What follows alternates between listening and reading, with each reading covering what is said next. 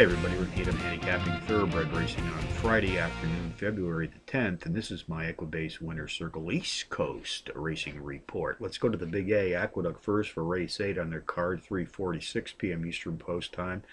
Mile 70 yard test on Aqueduct's winterized inner dirt track, four-year-olds and up race for a starter allowance prize of some $55,000. Contenders number three, Jones Choice. Number four, Seniors Pride. Number three, He's So Chic. And number two, Indie Scent. Number three, Jones Choice qualifies as a Trackmaster Plus Power Pony. Will enjoy a commanding speed advantage on this field. Is the pace profile leader in this field, racing at or about today's distance of 8.3 furlongs. That's a mile. 70 yards on the dirt. He's hit the board in power run fashion in four straight, including back to back to back power run wins in his last three starts. Number four, Seniors Pride, comes off a power run place finish in his last start. Goes to the post with the skills of the jockey trainer tandem of Cornelio Velasquez and Todd Pletcher. In his corner, they've hit the board with 63% of their entries saddled as a team to date. Race 8 summary number 3 Jones Choice tops my contenders list today, which also includes number 4 Seniors Pride, number 6 He's So Chic, and number 2 Indie Scent. 3 4 6 2 in the 8th from Aqueduct. Gulfstream Park, race number 7.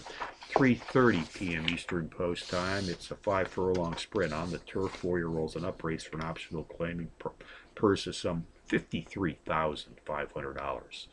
Contenders number 2, Marquette Cat. Number 6, Silver Timber. Number 8, Cat Thief. And number 9, That's a Giant. Number two, Marquette Cat takes a class drop of nine track master units this afternoon. Is the uh, overall speed leader in this optional claiming field, sprinting at today's distance of five furlongs on the turf. Has produced power runs in five straight, hitting board in four of those efforts, including a pair of power run wins being embedded in this recent streak of racing consistency. Jockey Jose Lezcano and trainer Jason Servis sent it to the post today. They fit the board with 58% of their entry saddles the team to date.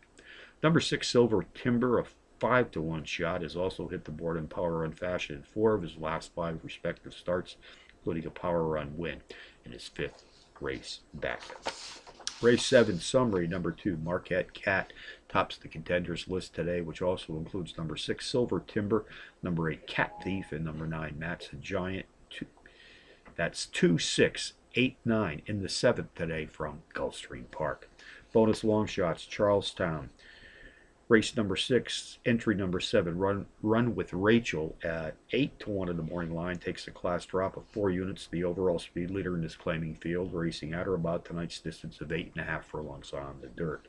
Penn National Race Course and race number two, entry number two, Born to Cuss, four to one in the morning line, has hit the board in power run fashion in four of his last five, including power run wins in both his second and fourth races back which of course, folks, is indicative of a bounce pattern. And the bounce tonight will be up positive.